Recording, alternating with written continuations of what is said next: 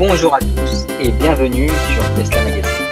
Aujourd'hui, vous êtes sur les podcasts Tesla Magazine que vous pouvez écouter sur YouTube, toutes les plateformes de podcasts traditionnelles et nous vous invitons à utiliser Siri pour nous retrouver en disant Siri lance le podcast Tesla Magazine et il lancera le, le dernier épisode que vous pourriez écouter dès maintenant. Donc, euh, j'aimerais tout d'abord vous remercier parce que vous êtes vraiment de plus en plus nombreux à nous écouter. Et euh, je vais faire de ce podcast une sorte d'antichambre de Tesla Magazine pour vous expliquer les raisonnements, les fonctionnements et euh, nos analyses sur les sujets d'actualité, bien sûr, qui vous concernent. Donc, on va à la fois balayer un peu d'historique sur ce qui s'est fait sur Tesla Magazine ces dernières semaines, parce qu'on va aussi essayer de tenir le rythme d'une fois par semaine. Et euh, on va ensuite euh, aller petit à petit vers des choses qui, euh, qui vous permettront d'en apprendre un peu plus. Donc tout d'abord, le sujet de ce podcast global, c'est les superchargeurs. L'accès aux superchargeurs. Plus précisément, l'ouverture de l'accès aux superchargeurs. c'est très important. Vous êtes très nombreux à vous poser la question. Pourquoi Je ne sais pas, mais en tout cas, ça inquiète énormément. Les communautés Tesla sont révoltées, véritablement. Il n'y a que, effectivement, les personnes qui voient un peu plus loin l'utilisation du réseau qui arrivent à tempérer les choses. Donc, c'est important de faire ce sujet pour expliquer ce qui va se passer. Là, on n'est plus dans la prospective, on est dans la certitude analytique. Donc il n'y a rien de confirmé par la marque, bien entendu. Il n'y a rien de confirmé par le marché, bien entendu. Mais il y a des conjonctures, il y a des éléments qui se recoupent et euh, des éléments qui permettent de dire on y est, ça va se passer comme ça.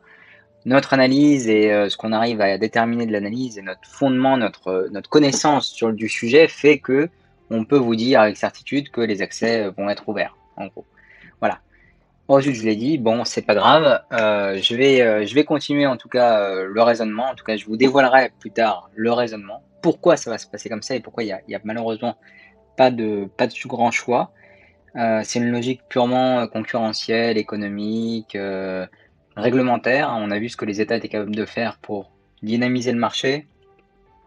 Et là, il y a clairement quelque chose qui, qui va dans le sens de l'ouverture et mais, mais, mais, mais, mais, ce que je vais vous dire, c'est que c'est une bonne chose. C'est la meilleure chose qui puisse arriver au réseau superchargeur, Tesla en particulier, parce que euh, le, marketing fera son œuvre par rapport aux personnes qui bénéficieront du roaming et de l'excellent service de, euh, Tesla.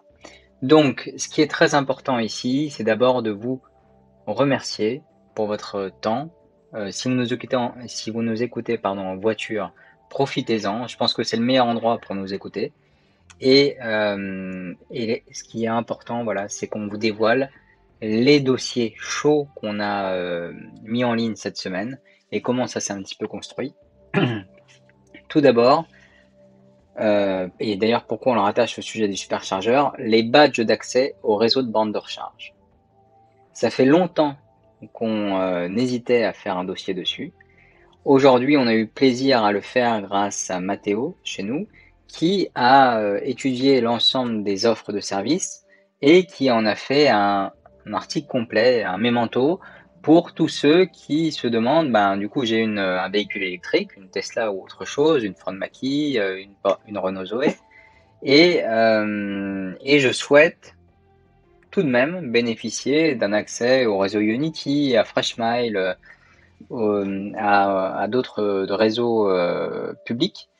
Donc, à partir de là, la réflexion, elle est, euh, elle est autre parce qu'on se retrouve à devoir étudier une offre de neuf fournisseurs qui sont tous rattachés à JREV, qui est, si on peut dire, le réseau télécom des euh, bornes de recharge. Ça veut dire que c'est une interface connectée, interconnectée et qui permet d'avoir un roaming européen sur la recharge. C'est très puissant. C'est très puissant et toutes ces cartes adhèrent à JREV. En plus, pour certains d'avoir leur propre réseau. Je pense à EasyVia, à Unity. Et euh, d'ailleurs, j'ai même inclure ChargeMap sur certains aspects parce que eux, ils bénéficient d'un certain service associé à, ces bornes.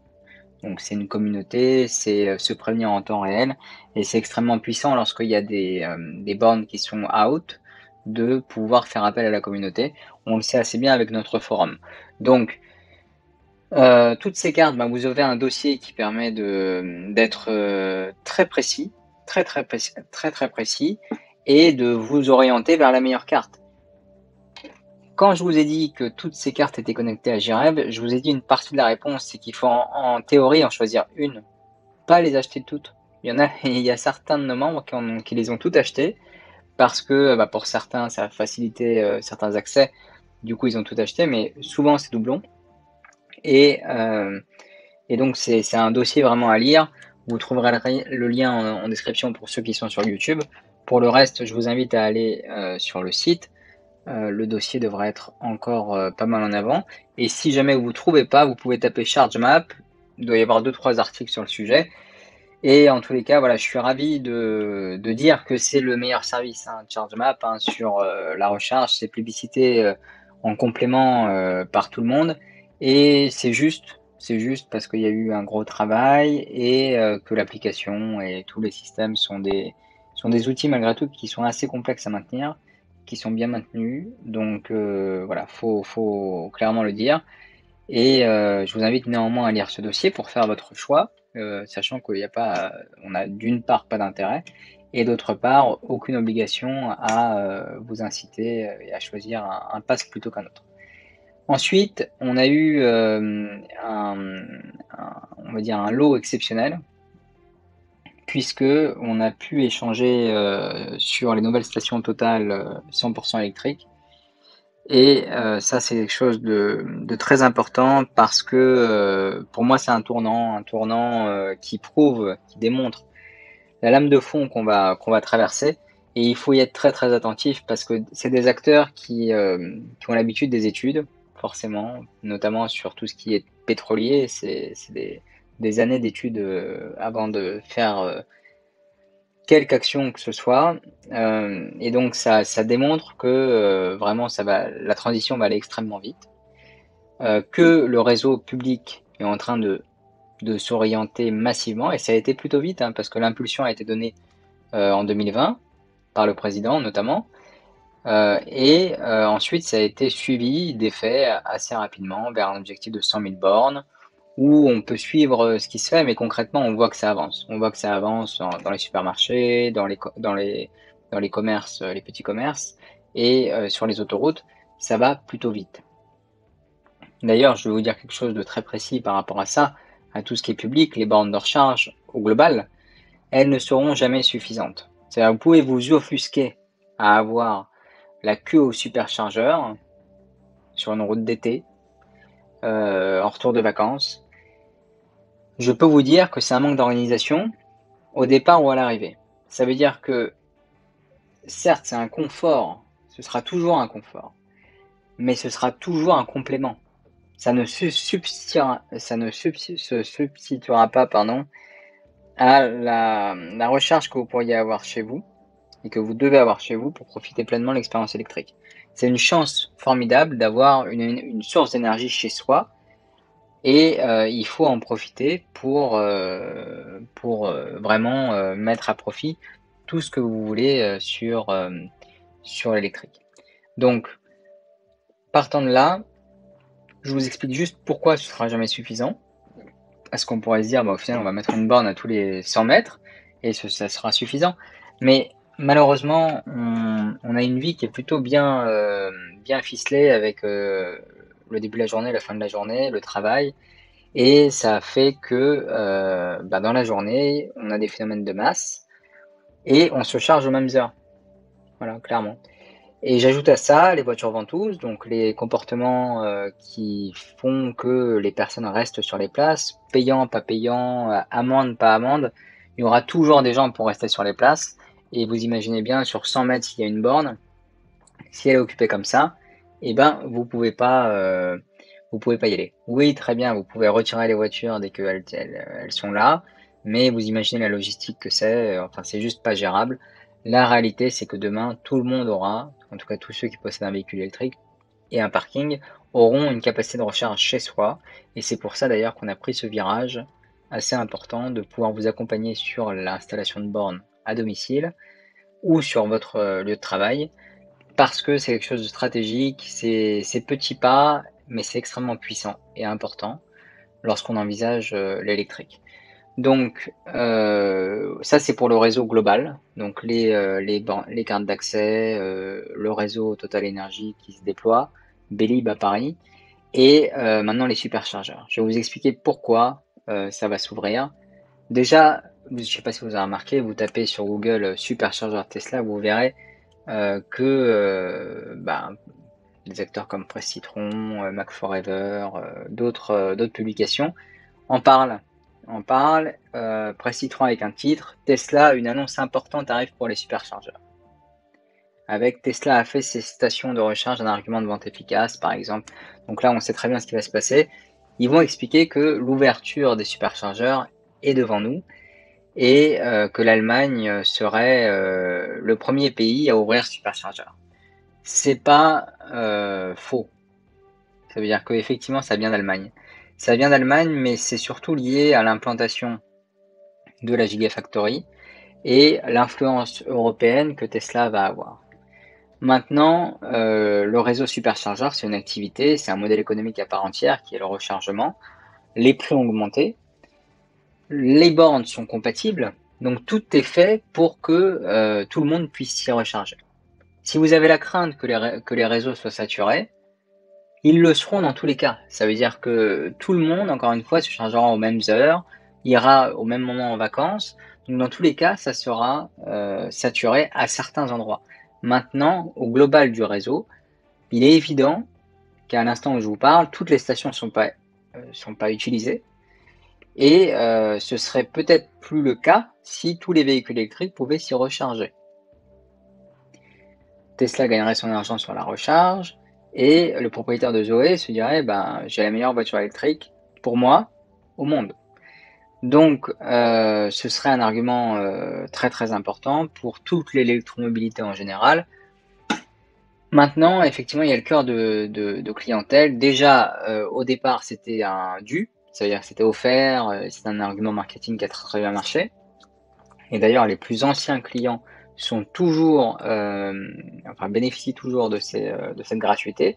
Maintenant, les plus anciens clients, comme je vous l'ai dit, ils ont installé une borne chez eux. Donc l'argument, ils utilisent probablement beaucoup moins les superchargeurs, même si ce sera jamais le cas pour les VTC et les taxis. Mais il faut garder l'esprit que c'est moindre, c'est moindre. Donc maintenant, sur ces, euh, sur ces superchargeurs, pourquoi ça va, ça va être obligé? C'est que malheureusement ou heureusement, le réseau Tesla est le plus dense. La concurrence a essayé avec Unity. Bon, ils sont à 74 euh, stations, je crois, euh, en France. c'est beaucoup, beaucoup moins que, que Tesla. Et au niveau européen, c'est à peu près le même ordre de grandeur. Euh, quoi qu'il en soit, tous les constructeurs pointent du doigt ce réseau, forcément, et appellent à un roaming, euh, une libéralisation, et pire, bah, ils disent bah, nous, notre réseau est déjà, ouvert. C'est le cas d'Unity, effectivement, mais il est nettement moindre. Euh, et ça n'a jamais été l'apanage d'un seul, constructeur.